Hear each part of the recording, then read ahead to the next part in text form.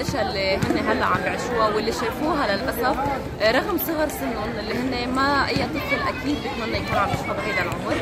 آه، عم نعمل لهم أنشطة كل يوم. هلا بلشنا نحن بالانشطه الح- الحركية الحسية الرياضية.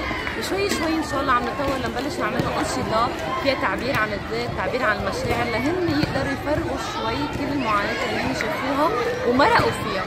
أكيد هن واجهوا كثير صعوبات. أكيد في أشياء كثير آه، هول الأطفال آه، في شيء كسر جواتهم. عم نحاول قد ما فينا وقدر المستطاع إنه نحن نرسم البسمه على وجوه هول الأطفال. آه، صح ما حنقدر نعمل التغيير الجذري بس عم نحاول قدر المستطاع نطلعهم من هيدا الجو وهيدي ال- ال- المشاهد اللي شافوها.